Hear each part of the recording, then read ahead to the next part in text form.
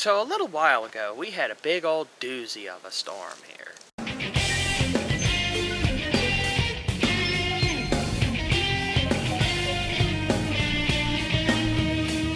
This was quite the doozy of a storm. If you happen to live in Virginia all the way up to, I think, Indiana, you probably know what I'm talking about. For the rest of you, basically a giant thunderstorm just kicked itself together out of nowhere and ripped through a bunch of states with some tornado-like winds at times. And, well, the damage was quite significant. More than that, it was quite sudden. All of a sudden, there's not even rain, it just got a little windy, and then all the more sudden, like just little wind, giant wind, thunder, lightning, and everything's falling over. Hello it's the afternoon. And then by the time it's a little bit later, it's already passed, everything is broken, and power's out. That's the big thing. The power was just suddenly out. No water, no whatever, right? Well, good thing for us, we're constantly prepared where I live. We have water stocked up. We have food that can be cooked without, you know, a stove. We even have logs set aside to build a fire if we have to. It's we have a setup for all of this, and that's called being prepared. And that is my message today to you from all of this devastation, is which is simply be prepared. I mean, you never quite know what's going to happen, and you can't obviously be prepared for every individual circumstance, but you can be smart.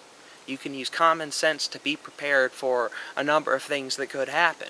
Use preparations that perhaps cover more than one event. A general first aid kit basically covers everything, you know. Anytime someone's injured, you have a first aid kit. It really helps.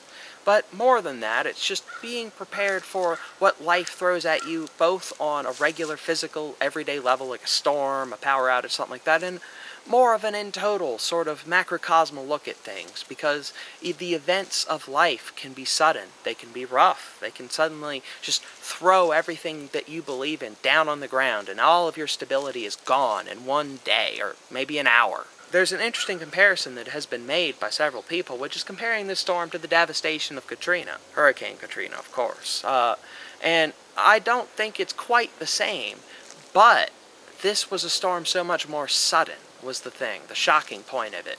Hurricane Katrina was forecast on the news, it was coming, and many people could evacuate. Not everyone could, and there was big issues with that, but the point was, there was forewarning. With, with this storm, it was basically well, there's going to be a bad storm tonight. That was the best warning we got, was a bad storm tonight. And boom, everything fell apart instead of just a bad storm. I mean, everybody's had a bad storm, right? Thunder, lightning, heavy rains. You don't expect everything to fall over.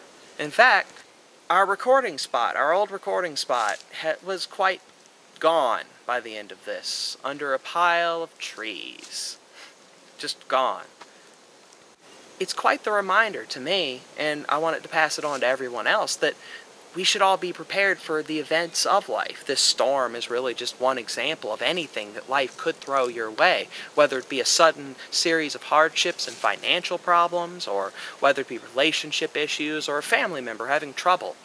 Life can suddenly toss a lot of unexpected negative events in your way. And while you can't be prepared for all of them, and you can't be fully prepared for anything, truly, you can at least be more ready than otherwise. Don't be caught entirely unprepared. At least have something of a plan. At least have something to fall back on if everything goes wrong. You have to plan and think about these things and anything that could happen in a negative way to you. I mean, you can't anticipate everything, but you can attempt to anticipate the most likely negative things. And furthermore, beyond just being prepared, you have to have mental fortitude. You have to be ready for the fact that life will throw something at you that you're not prepared for, no matter what steps you take. You have to be ready for the fact that life can hit you where you don't expect it and hit you really hard. All of your preparations could slide down the tubes as something completely different happens. But all of that is just a part of life. So, basically, I want to leave you with the idea simply by thinking about the problems that could come your way and taking basic steps to address them before they happen, you can mitigate a severe problem before it even happens. Turn it into an issue that can be dealt with instead of an insurmountable obstacle that has suddenly shown up. And really, all it takes is perhaps a few minutes to a few hours of your time to be fully ready for it, which will save you who knows how much heartache in the end. Just something to think about.